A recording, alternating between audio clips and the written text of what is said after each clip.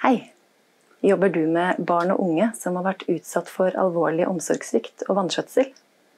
Da treffer du kanskje av og til unge som har tilknytningsforstyrrelser. Og kanskje har du sett den lille filmsnutten vår der jeg snakker om hva tilknytningsforstyrrelser innebærer, og viktigheten av at tilknytningsforstyrrelser anerkjennes som gyldige diagnoser, ikke bare hos små barn, men også hos ungdommer. Nå vil jeg fortelle om våre nyeste forskningsfunn, der vi har sett på i hvilken grad ungdommer med tilknytningsforstyrrelser også har andre psykiske lidelser og psykososiale vansker.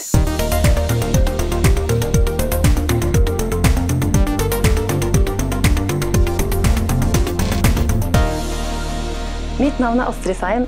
Jeg er barne- og ungdomspsykiater og jobber ved BUP klinikk ved St. Olavs hospital og som doktorgradsstipendiat ved RKB Midt-Norge på NTNU.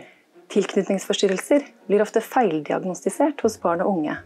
Enten i form av overdiagnostisering eller underdiagnostisering, eller at man korrekt har identifisert tilknytningsforstyrrelser, men har oversett andre samtidige forekommende psykiske lidelser.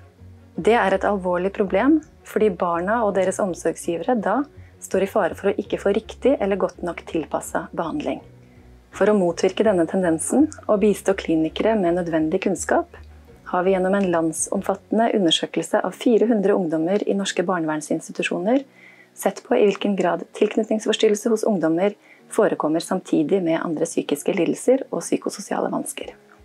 Vi fant at de fleste ungdommer med tilknytningsforstyrrelse også har andre psykiske lidelser, som depresjon, angst, ADHD eller atferdsforstyrrelse. Vi fant også at risikoen både for emosjonelle og atferdsmessige problemer økte med økende antall symptomer både på reaktiv og udiskriminerende tilknytningsforstyrrelse. I tillegg fant vi høy forekomst av psykososiale problemer som selvmordsproblematikk, selvskading, mobbeerfaringer, kontakt med politiet, salg av sex, generelt rusmisbruk eller målbevisst rusmisbruk for å bedre humøret. Det betyr at vi som jobber med barn og unge som har vært utsatt for alvorlig omsorgssvikt, og som viser seg å fylle kriteriene for tilknytningsforstyrrelse, ikke må slå oss til ro med bare den forståelsesrammen, uten også å undersøke om barnet eller ungdommen fyller kriteriene for andre psykiske lidelser eller har andre psykososiale vansker av betydning. Internasjonale retningslinjer tilsier at alle barn og unge med tilknytningsforstyrrelse bør eh, få tilbud om en bred eh, og grundig barnepsykiatrisk kartlegging, noe våre funn støtter.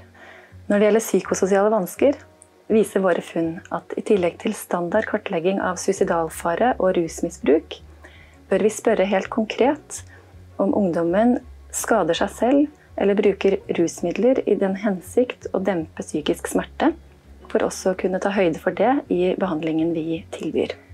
Vi må også spørre konkret om ungdommen har mobbeerfaringer eller andre krenkende opplevelser som vi ikke er kjent med. Og vi må tørre å spørre om seksuell aktivitet, og om ungdommen gjennom det utsetter seg for noe som kan være skadelig. Vi bør også spørre om eventuell ulovlig atferd som kan ha gitt ungdommen problemer. Fordi det å snakke om denne typen vansker kan være nokså skambelagt, kan vi ikke ta for gitt at ungdommen forteller om det spontant uten at vi spør.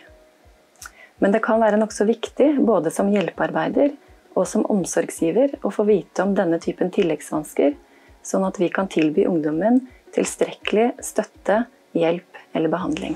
Et viktig poeng til slutt. Selv om denne typen tilleggsvansker er vanligere hos ungdommer med tilknytningsforstyrrelser enn i den generelle befolkningen, er det mange ungdommer med tilknytningsforstyrrelser som ikke har slike tilleggsvansker. Og det er antagelig ingen med tilknytningsforstyrrelser som har alle disse vanskene. Så når vi spør, må vi fortsette å gjøre det med undring, respekt og åpenhet, uten å være forutinntatte i noen bestemt retning. Hvis du har lyst til å lese mer om tilknytningsforstyrrelse og samsykelighet, finner du en lenke til den nye artikkelen under denne videoen. Og har du lyst til å se den lille filmsnutten der jeg snakker om tilknytningsforstyrrelse og gyldigheten av de diagnosene i ungdomsalder, finner du også en lenke til den her. Takk for at du hørte på, og lykke til med det viktige arbeidet.